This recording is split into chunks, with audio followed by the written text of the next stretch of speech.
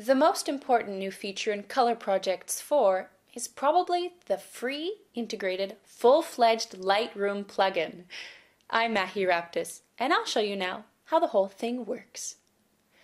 First, choose an image in your Lightroom collection that you would like to edit in Color Projects 4.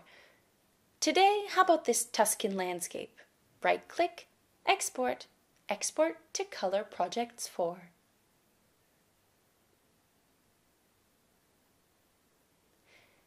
We can now find a preset that we like. There are over 130 presets to choose from. For example, backlit landscape, or intense landscape, natural and lively colors, or a very exclusive option, this pencil drawing preset. I think that looks cool.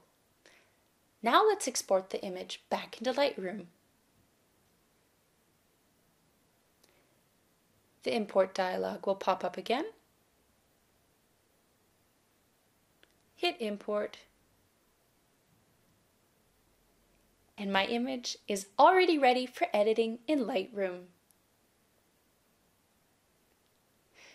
As you can see, it's dead easy to edit an image in Lightroom and then give it that final touch with Color Projects 4.